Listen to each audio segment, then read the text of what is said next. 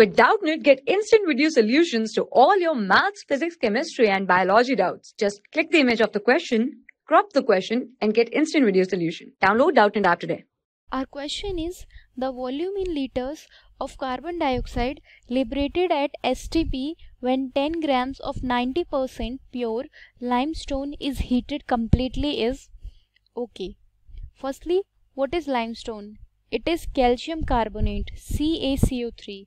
CaCO3 on heating it decomposes to give CaO plus carbon dioxide. This is quicklime and this is limestone. On decomposition 1 mole of calcium carbonate will give 1 mole of carbon dioxide. Now we'll calculate number of moles of calcium carbonate. It will be given mass that is 10 gram divided by its molecular weight. We know that molecular weight of calcium carbonate is 100 gram per mole.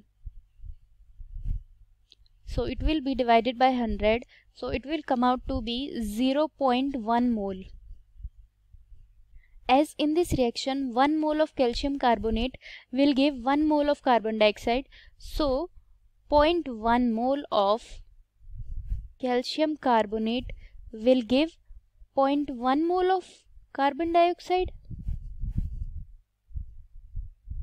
But limestone is only 90% pure means it is 0.09%.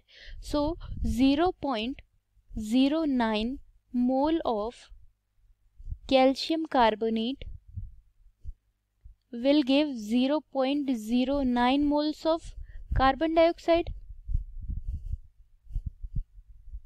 So here 0.09 moles of carbon dioxide is obtained. As we know that 1 mole of carbon dioxide occupies 22.4 liter at STP. Hence 0.09 mole of carbon dioxide will occupy it will be 0.09 multiplied by 22.4 so it will come out to be 2.016 liters. So the volume occupied by carbon dioxide gas is 2.016 liters. So option 4 is correct. Thank you For class 6 to 12, IIT JEE and NEET level. Trusted by more than 5 crore students. Download Doubtnut app today.